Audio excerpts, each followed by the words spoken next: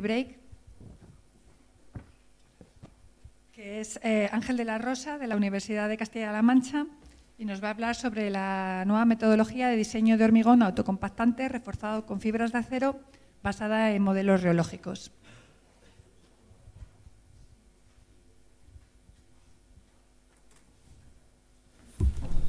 Eh, buenos días a todos. Eh, gracias a la organización, al jurado. Y bueno, yo voy a presentar una nueva metodología de diseño de hormigón autocompactante reforzado con fibras de acero basada en modelos reológicos. Este es mi último año de doctorado, bajo la dirección de los doctores Gonzalo Ruiz y Elisa Poveda. Y en este trabajo he colaborado también con el profesor Héctor Cifuentes de la Universidad de Sevilla. Eh, voy a hacer una estructura de la presentación con una breve introducción y una descripción del marco teórico, seguido de la descripción de la metodología de diseño que proponemos, junto con un ejemplo de dosificación y un resultado experimental y, por último, las conclusiones. Eh, según sí colaboradores, existen diferentes métodos de clasificar los hormigones autocompactantes en cuanto a su dosificación. Sin embargo, los más interesantes desde el punto de vista del material son los modelos basados en reología de la pasta. No obstante, no existen tantos métodos de diseño cuando hablamos de hormigón autocompactante reforzado con fibras de acero. Y los que existen se fundamentan en la, llamada teoría del exceso de espesor de capa, que tiene mucho que ver con el comportamiento reológico del material. Eh, existe el modelo de factor máximo de fibras que mm, trata sobre la cantidad máxima de absorción de fibras que puede admitir una matriz de hormigón o el modelo del diámetro equivalente de fibra que tiene relación en una equivalencia entre superficie específica o área superficial de fibra con árido o la teoría del espesor del exceso de capa en la que habla sobre el exceso de capa necesaria de pasta o de mortero que debe, proporcionarse para lubricar al, árido y a la fibra para que fluya.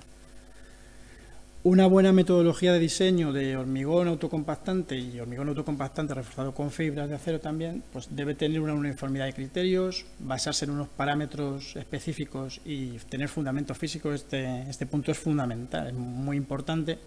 Costar de unos factores que permitan su evaluación, ser ampliamente aplicable y tener robustez, es decir, ante cualquier pequeña o mm, gran modificación en cuanto a materiales, cantidades, sea unos resultados eh, repetitivos debemos considerar las prestaciones y necesidades técnicas perseguidas, es fundamental. Diseñar por prestaciones es la demanda actual y ser sostenible. Por tanto, la motivación y el objetivo principal eh, es desarrollar un método de diseño de hormigón autocompactante reforzado con fibras de acero que sea sencillo, con fundamentos físicos y que permita elaborar hormigones en base a prestaciones. Dentro del marco teórico, eh, los modelos de relojía de pasta de cemento nos van a permitir eh, determinar cuál es la fluidez y la resistencia a la segregación del hormigón autocompactante, midiendo cuál es la tensión de fluencia de la pasta y la viscosidad plástica como parámetros relógicos más importantes.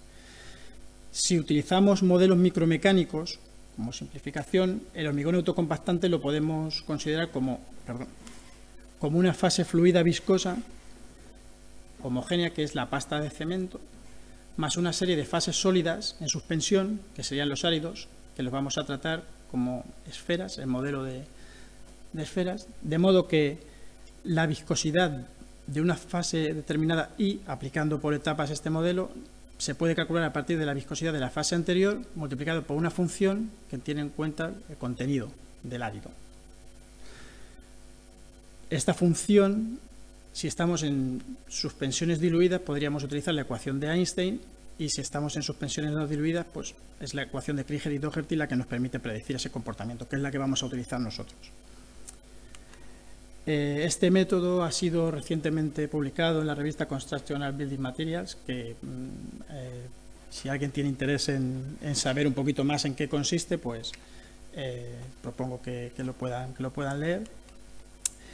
Y se fundamenta en lo siguiente.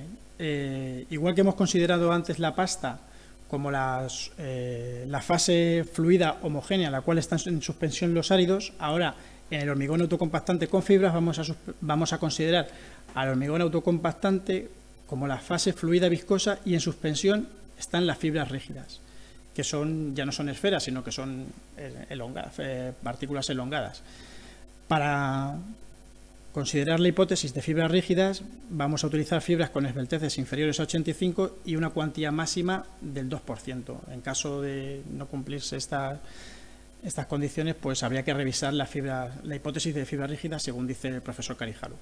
Por lo tanto, la viscosidad de un hormigón autocompactante reforzado con fibras de acero será igual a la viscosidad del hormigón autocompactante base multiplicado por una función que tiene en cuenta el contenido de fibra y la esbeltez como parámetro geométrico. Eh, se ha descolocado un poquito la, figura.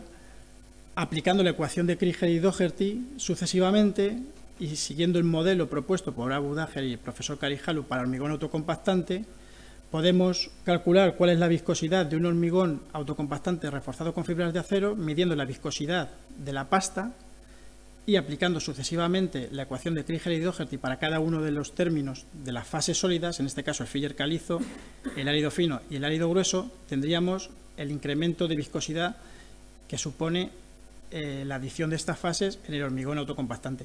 Y nosotros hemos incluido el modelo constitutivo propuesto por Gambari y Carijalu para considerar qué incremento o qué aumento de viscosidad supone la adición de, una fibra de acero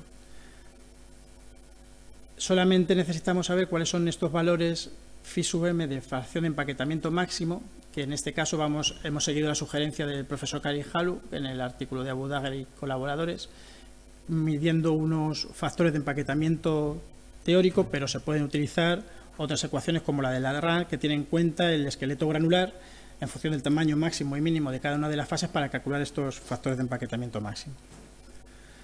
Lo único que nos queda es imponer unas restricciones que son las recomendaciones y directrices que propone FNAR o IECA, pero estas se refieren al hormigón autocompactante solamente, o otras fuentes de información de la literatura. Actualmente estamos eh, elaborando un artículo en el que eh, estamos adaptando todos estos límites al caso concreto del hormigón autocompactante reforzado con fibras de acero, porque existen en, alguna pequeña variación y alguna pequeña modificación respecto del hormigón autocompactante. Por lo tanto, el fundamento es de la metodología es la búsqueda de un valor de viscosidad del hormigón autocompactante base para calcular las proporciones de mezcla de dicho hormigón autocompactante al que se le añade una cuantía de fibra de acero. Por tanto, lo único que necesitamos como datos iniciales son la resistencia a compresión del hormigón que deseamos, la resistencia mecánica a los 28 días, qué tipo de fibra vamos a utilizar, el parámetro geométrico determinado por la esbeltez, la fracción de fibra que deseamos utilizar y la viscosidad plástica objetivo que va a depender pues, de la función que, del hormigón que queramos tener, si lo vamos a bombear, si lo vamos a poner en un elemento vertical, horizontal, etc. Eh, hemos implementado eh, esa, la ecuación de Klinger y Doherty y el modelo de Gambari y Carijalu en MATLAB, hemos desarrollado un código y a través de dos sencillos gráficos de, diseño nos van a permitir calcular cuáles son eh, las, cantidades de mezcla de cada uno de los componentes necesarios a la hora de diseñar un hormigón autocompactante reforzado con fibras de acero en base a prestaciones. El gráfico de, de la izquierda nos va a permitir establecer cuál es el valor de la viscosidad del hormigón autocompactante base en función del contenido de fibra que tengamos y una vez que sepamos ese valor de viscosidad y en función de la viscosidad efectiva que deseemos, efectivamente, y luego con el gráfico de la derecha encontraremos cada una de las cantidades de los materiales. Vamos a verlo con un ejemplo que es más, más intuitivo. Si deseamos diseñar un hormigón con una resistencia de 50 megapascales y una viscosidad efectiva de 30 pascales por segundo y utilizamos una fibra de de 62 en un contenido del 1%, pues el primer paso que tenemos que hacer es calcular la relación agua-cemento. Nosotros hemos utilizado esta ecuación de ajuste tipo Abrams, que propone el profesor Carijalu, en base a una amplia base de datos experimental que ellos tienen y que ajusta bastante bien, pero se puede utilizar cualquier otra ecuación que tenga en cuenta pues, la resistencia del cemento, la resistencia del árido, que nosotros eh, sí que vamos a incorporar próximamente en, la mejora de la metodología.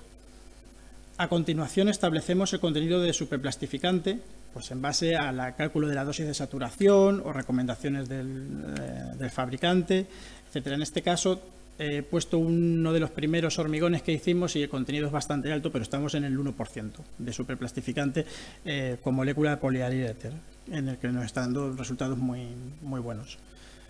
A continuación medimos la viscosidad de, la pasta sabiendo cuál es la relación agua-cemento y la relación materiales eh, superplastificantes materiales cementicios. Medimos el valor de la viscosidad de, la pasta, lo hemos utilizado mediante un, un reómetro que en una serie de, ensayos que hicimos en el Instituto de Cerámica y Vidrio. Y a continuación lo que necesitamos es comprobar si este valor de la fracción en volumen de fibras que nosotros hemos utilizado, o que queremos, el 1%, está dentro de la, de la región admisible, que es uno de los gráficos que nos da también el, programa, que es el gráfico, es el gráfico anterior eh, que he mostrado. Mm, y es este gráfico, eh, pero eh, simplemente mostrando el dominio en el cual es admisible la, dosificación. Comprobamos que estamos dentro de la zona admisible con este porcentaje de, fibra de 0,1% de 1% y una viscosidad plástica de 30 pascales por segundo, por lo tanto podemos continuar. Ahora el siguiente paso es, una vez que conocemos la fracción en volumen de fibra y la viscosidad eh, efectiva plástica del hormigón con fibras, calculamos cuál es el valor de la viscosidad del hormigón autocompactante base. En este caso nos daría esta línea magenta que correspondería con un valor de 3,2 pascales por segundo.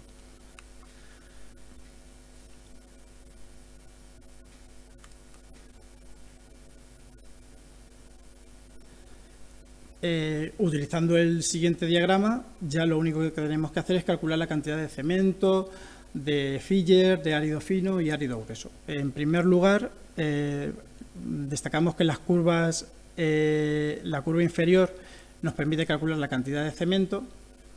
Entramos en el eje de abscisas con el valor de la viscosidad efectiva del hormigón autocompactante base 3,2 y la proyección nos va a dar cuál es la masa de material cementicio como conocemos la relación agua-cemento y la relación super, eh, relación superplastificante-cemento, pues inmediatamente obtenemos cuál es la cantidad de agua y del aditivo. A continuación nos iríamos a la línea, a la línea roja,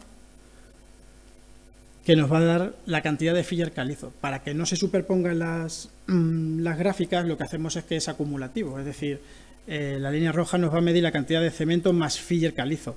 Luego, como hemos calculado el cemento, pues lo restamos y es inmediato. De, otro modo, pues las bandas se, interceptarían y sería más complicado medirlo. El siguiente paso es medir la, el, árido fino, que nos daría la curva, la curva naranja. Y por último, el árido grueso. Dentro de la banda serían resultados factibles, que podríamos eh, coger cualquiera de ellos.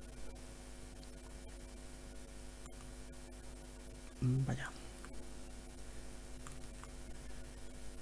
Eh, hemos hecho una, campaña experimental extensa eh, con más de 30 hormigones, eh, que algunos están publicados y otros están en proceso de, revisión para próximamente publicarlos.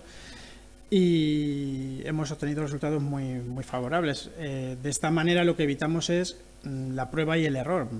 muy, es muy fácil eh, que, el hormigón que proyectamos eh, salga, a la primera. Simplemente conociendo bien los materiales y calibrando la cantidad de superplastificante y haciendo una medida de la viscosidad, eh, obtenemos unos buenos resultados. En este caso, muestro un ensayo de la caja. Una, dos, tres. Para que se vea una muestra de su capacidad de paso y de, llenado. En este caso es el mismo hormigón del ejemplo que he puesto, de 50 megapascales, que fue la resistencia, lo superó los 50 megapascales y una viscosidad efectiva de 30 pascales por segundo. Por último, eh, hemos presentado una metodología de diseño de hormigón autocompactante reforzado con fibras de acero en base a modelos de reología de pasta, cuyos datos de entrada son la resistencia a compresión, la viscosidad efectiva del hormigón, la esbeltez de fibra y la cuantía de fibra, que nos permite calcular las proporciones de los componentes del, material mediante unos sencillos y prácticos gráficos de diseño de mezcla y un código en MATLAB que próximamente esperamos eh, también poder hacer una aplicación para que sea más intuitivo y más rápido, como el compañero ha presentado su, metodología. Eh, hemos incluido un ejemplo en el que se explica detalladamente el uso de los gráficos y una validación experimental mediante el ensayo de la caja L y consideramos que es un método ampliamente aplicable, suficientemente robusto, que tiene en cuenta las necesidades técnicas deseadas y cumple con criterios de sostenibilidad. Eh, agradecer la financiación del Ministerio, yo personalmente a mi contrato FPI y muchas gracias por su atención.